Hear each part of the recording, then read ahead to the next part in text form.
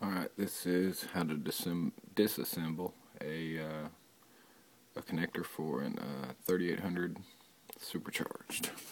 Uh, this is an L67 harness off a 99 Regal GS. Uh, I've already taken it apart once, the, one of the connectors to pull a circuit out of it. Uh, this is the blue connector. This is the clear connector. We're going to take the clear connector apart. But first, let me show you something on the blue connector that I've already taken off the clear connector. And I, you can put one back on, I don't intend to. Don't forget these, always replace them.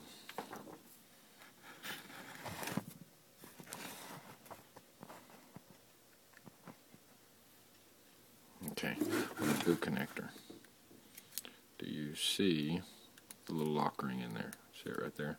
you are going to have to remove that with some dikes, some creative work with some picks, what have you. Okay, but not today. Today we're going to mess with the easy one that I've already done. I've already got it off. Push it through. Bolt. Alright, back here. Gonna, you got tab up here, tab up here. Got another one right here. Got another one right here locking in. Another one right here, which is actually broken on this. Another one right here, and pretty sure there's one right in there. You can pull, you can loosen that one up by sticking a tiny screwdriver in there. Okay, you're just gonna squeeze. Well, mine's pretty loose, it's been done before. Release get off. Okay. Don't even try to mess with anything back here. Those do not come out from the back. They go out from the front. They have a little lip on them.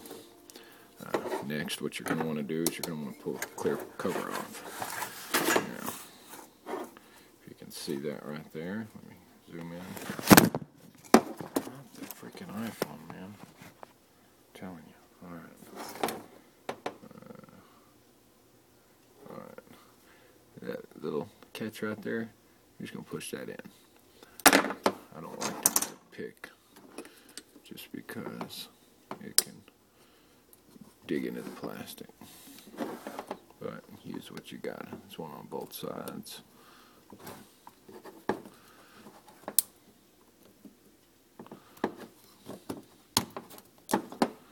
Take the plastic off.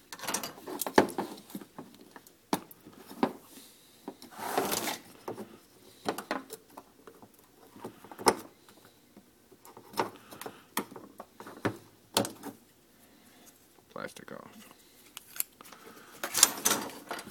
Alright, excellent look at the pins and how they stay in there. Just a little piece of plastic, keeping them locked in. Okay, I'm going to remove, I don't know what circuit it is, this green one right here probably.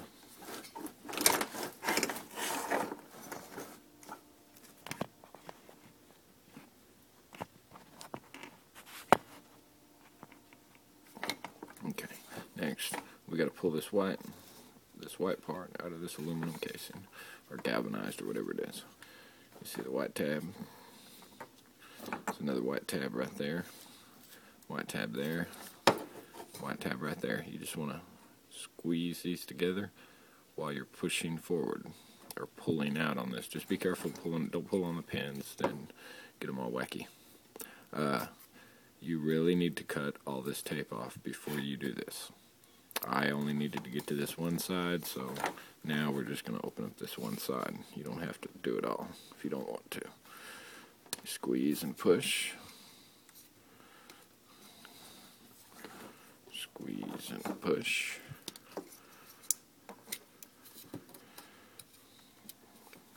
Pull it right out. Now, this is where it's going to get goofy.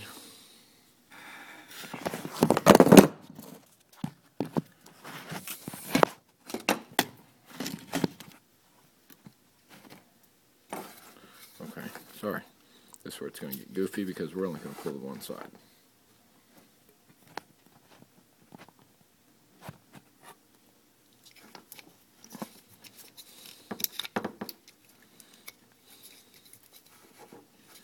Okay. So we've got that out. And then make sure wires are fairly straight. Gonna pull it down. Don't force it. Just kind of push it down.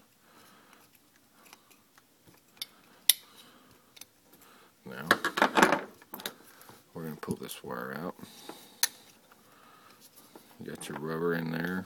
If you're going to add a circuit, the hardest, the biggest deal about these, especially if you're adding a circuit, man, these things bug the crap out of me. I can't ever get this thing to pierce right.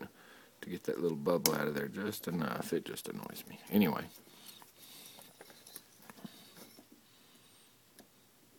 Lift up on the tab.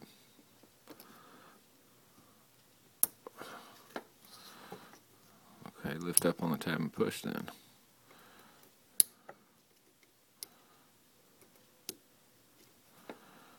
Pull it right out.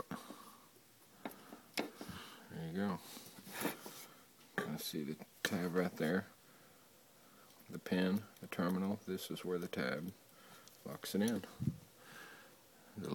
put it in, latch it, just push it until it latches. Don't forget to run this back up, otherwise it'll turn sideways and get in the middle of, on the other side of the aluminum housing. And in general, just be a pain.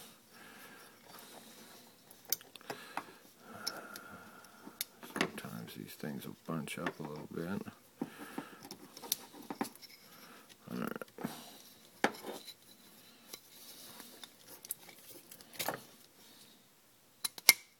click, lock it in place, make sure they're all locked down.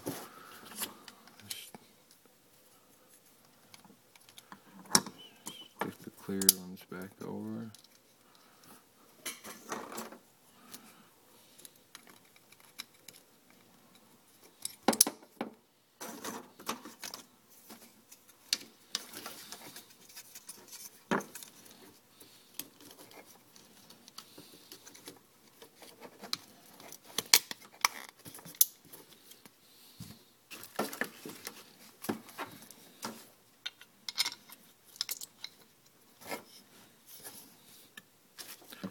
Don't forget your rubber. That's it.